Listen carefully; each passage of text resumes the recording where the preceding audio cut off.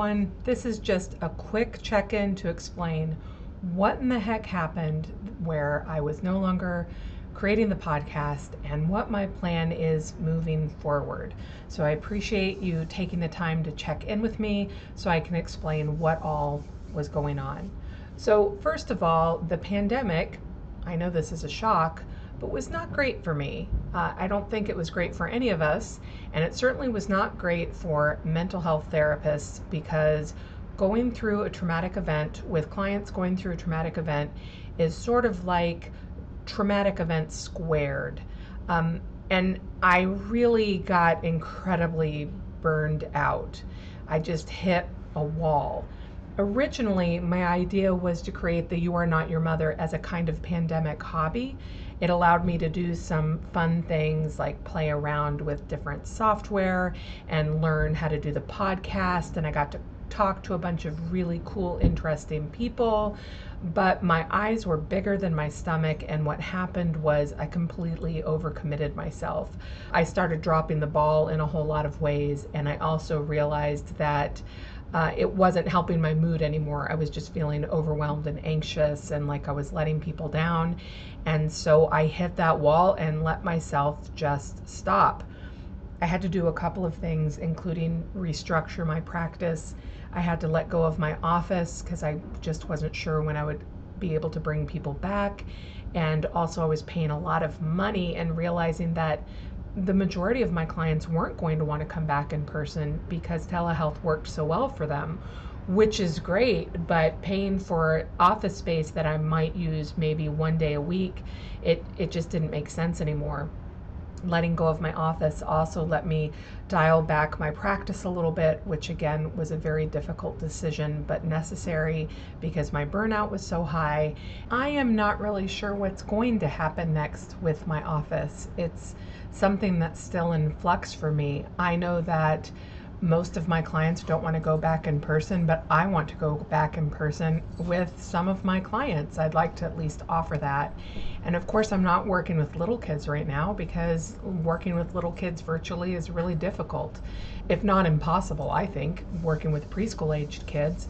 And so I'm trying to figure that out too. When will I have a play therapy space again? And how might my practice look different if most of my clients want to be online how am I going to navigate that? How am I going to have a cost effective space where I can see people want to be in person, but also not be paying full time office space if I'm not using an office full time? These are all things I'm considering and thinking about as I move forward, which again makes the child anxiety support program kind of a place of refuge because it it does some of the things I like best, which is hosting space for people. I really enjoy that. And even though I can't host actual space right now, I can host virtual space. It also is about connection and community. I've always wanted my clients to be able to connect with each other in ways that are ethical and appropriate, but doing in person things never seem to work because they're parents and trying to get schedules to work and childcare to work, it just seemed kind of impossible. And then also, I believe that we have so much to learn, not just from experts, but from each other as peers. And so, learning from your colleagues in the parenting community, I think, is so, so, so powerful. And in normal times, I don't think the board would ever have okayed me creating something like a membership site with psychoeducation and live events, etc.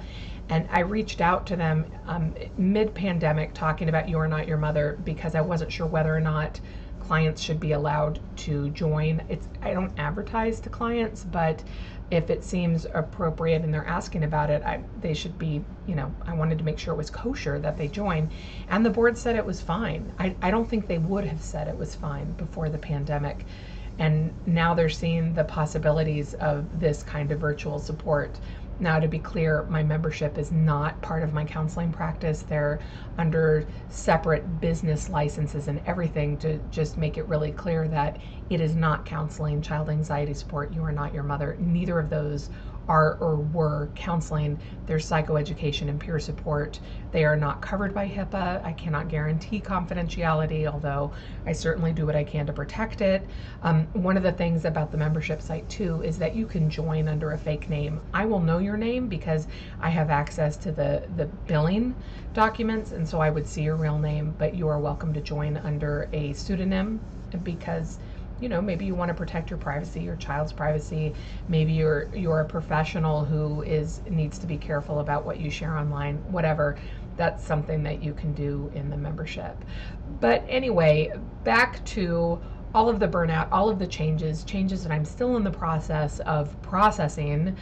I, I realized that I got in over my head and I was completely overwhelmed and my pandemic hobby ended up feeling more like a burden than like a hobby, which is why I quit doing the podcast.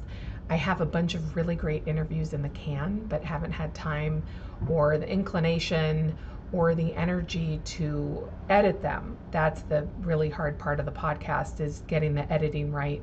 And I noticed I was coming to it with such dread that I just decided to give myself permission not to do it. Um, and then last month, I canceled my podcast, Libsyn, which is the people who host my podcast. I canceled my account there to save the 15 bucks a month and then realized I missed it and I still want to do it. And maybe now I have the mental and emotional capacity to go back to it. Maybe it will feel like a hobby again. So I'm not doing the You Are Not Your Mother membership. I realized I didn't have a really clear vision for that. And as much as I still really care about working with people like me who are working to dismantle family patterns of dysfunction, I wasn't really clear about what that meant. And I also felt very, very, very concerned that I might be operating out of my scope and accidentally doing things that uh, were more appropriate to do in a counseling office. So I decided to switch the membership to child anxiety support. And and I wanted to share a little bit about that too. So at the beginning, when I first learned about memberships and wanted to play around with this, I said to my husband, you know, somebody should really do a membership for parents of anxious kids. I could really clearly see how that would work. But I thought that wasn't me because I was doing the You Are Not Your Mother. But the more I realized that the that You Are Not Your Mother, I just didn't have a, a clear understanding of what it is I was trying to do other than I wanted people to connect with each other and learn together. Um, I, I, like I said, I realized you were not your mother. It wasn't the right project for me.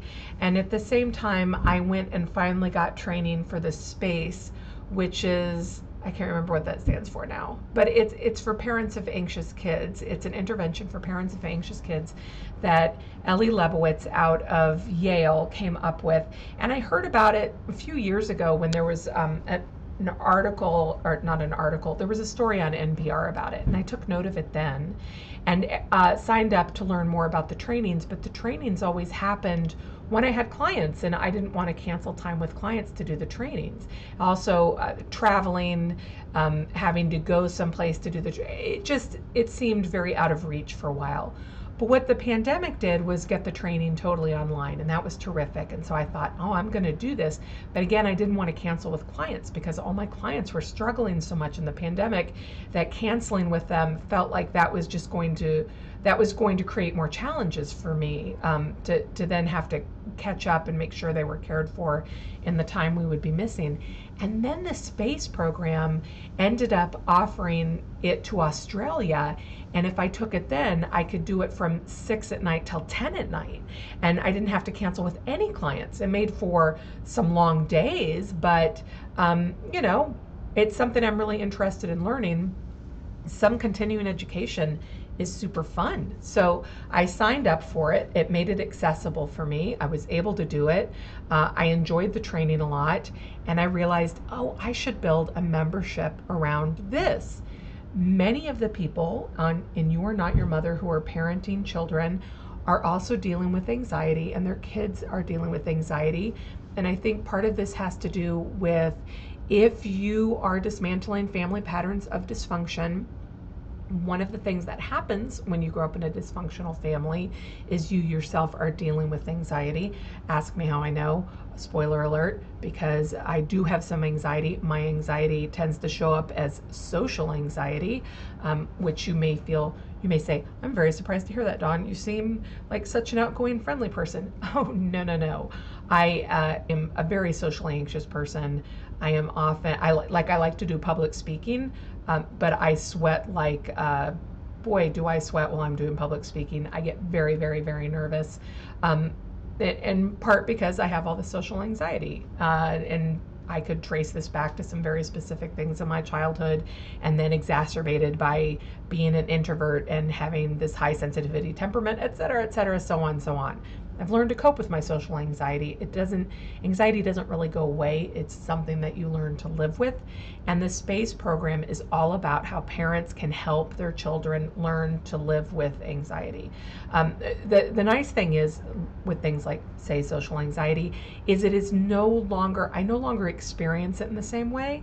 So I may get sweaty and, and shaky and my voice might get shaky, but I no longer experience this as this awful thing. My distress tolerance is really good. And so, even though in some ways I'm having the same experience, I'm also not having the same experience because I've learned to manage it and I've learned to cope with it and I've learned to define it differently.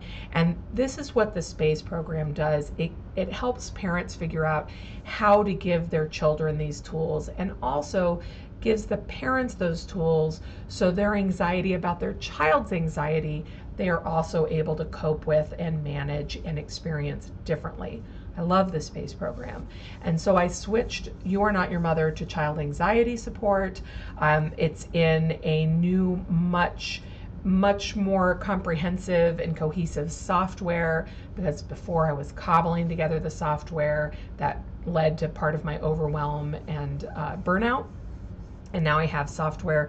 It doesn't do all the bells and whistles I want, but I realized I could give up bells and whistles for things to actually just work. So I focused this summer on switching from You Are Not Your Mother to child anxiety support to building out those supports. And in that, I let go of my podcast. I thought I'd let go of my podcast permanently, but realized I miss it. I like this podcast. I, I don't like the, the feeling I'm letting you down when I don't get to things the way I want to, or when I do an interview and realize that the tech was uh, not working really well on their end or my end, and now I've got to do some complicated things to try to fix it. I don't really like that either. But, you know, I, I feel like we can roll with it. There's a lot of wisdom in some of these Zoom calls that don't sound so great, and maybe we can all just tolerate it. So I'm going to keep the You Are Not Your Mother podcast. Um, we no longer have a You Are Not Your Mother site, but we still, uh, there is a You Are Not Your Mother group inside the child anxiety support site. And you're welcome to check out child anxiety support at childanxietysupport.com. Um, or, or not. You could just hang out at this podcast, whatever you want. But I appreciate you listening to this and hanging in there with me. And I'd like to tell you that I will definitely have the next episode up by this date, but I am not sure yet. My goal is to have it up by December. I'm going to commit to that. I look forward to talking to you guys again. I look forward to uh, learning from more of the wonderful guests that we have. I look forward to reaching out to more really awesome, cool guests too. So stay tuned.